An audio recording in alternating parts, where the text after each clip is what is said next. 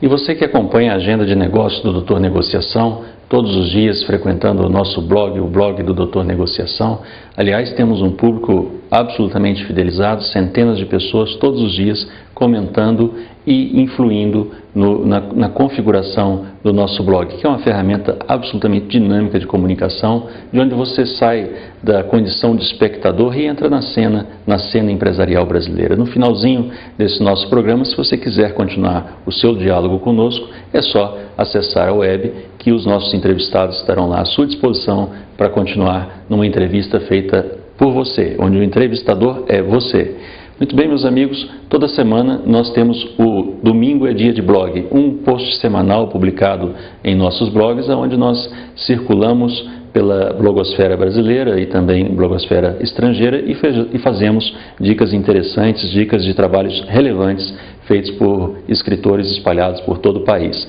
E nós vamos agora indicar alguns blogs para você frequentar. O primeiro deles é o Torresmo Fresco, um blog descolado, né, um blog descomprometido e feita por gente de muito compromisso. A Cíntia Pereira, o Danilo Guedes, o João Paulo, a Márcia, o Wagner Duarte, uma rapaziada jovem, o Danilo Basílio, enfim, muitos desses nomes passaram ou estão aqui na equipe de criadores do Instituto Nancir Salles de Adequação Empresarial, são os artistas que trabalham na nossa equipe. Né? Alguns trabalharam, outros ainda estão presentes, mas o Torresmo Fresco traz uma, uma alegria e um humor muito fresco. Desconfio até que os seus que os blogueiros são um bocado frescos, né? mas você vai tirar as suas conclusões frequentando essas páginas.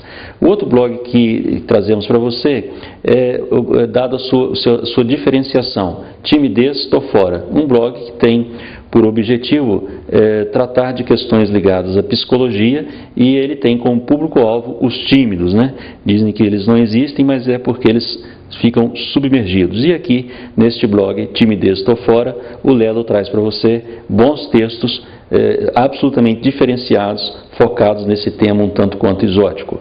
O próximo, o, a nossa próxima indicação é o blog do Moura, como o próprio nome diz, ele é do Moura, né? um blog de utilidade pública. Aqui você tem muita informação, informação útil para o seu dia a dia, né? informação é, que, que, que atende a todos os segmentos, seja lá o tipo de pessoa ou de empresário que você seja, aqui no blog do Moura você vai encontrar uma informação de qualidade. Né? O Nanosecond também é um blog bastante diferenciado. Né?